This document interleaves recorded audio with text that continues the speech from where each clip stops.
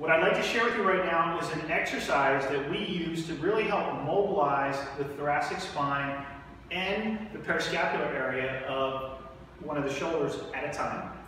And we're going to do this by driving the motion from the bottom up. Because of the rotational aspect, the transverse plane motion that the Core-Tex platform has, we're able to anchor the upper body in any position we want. We're going to do it right now using our existing handrails, but for those of you with a true stretch, think of the possibilities of what you can introduce in terms of the options of handprints and what that means to the bottom-up driver that the platform is going to provide. One of the other things I want you to take note of as you watch this is this is much different than just pure spin or pure rotation on a platform.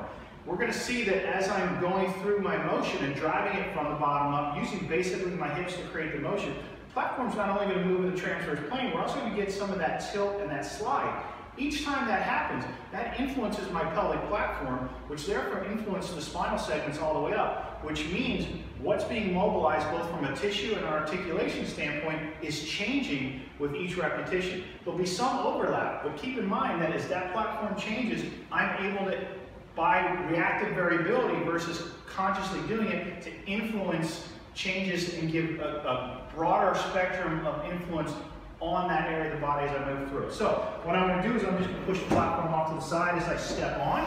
And as you can see right away, we've got some of the motion that happens here. So what I'm going to do is take as much of my surface area as my forearm and lock it, lock it onto this uh, horizontal handrail, and I'm going to reach underneath and through here. So if my right hand is my down hand, and I can certainly change the level of this grip, I'm going to drive my feet towards this shoulder, my right shoulder. So as I pull here, I'm going to turn and notice what I also did is I assumed a, kind of a nice athletic position where I, as I got into that squat, I also kept a little bit of a hip hinge, so I don't want to flex through my spine because that's going to limit the available motion that I get specifically in the thoracic spine. So I've got here and here, and then I'm going to turn and rotate. And notice I can work on this by really going back and loading up if I want kind of an explosive deceleration effect. Can get to the sort of the tissue barrier there, and I can also just use some oscillation as I move side to side.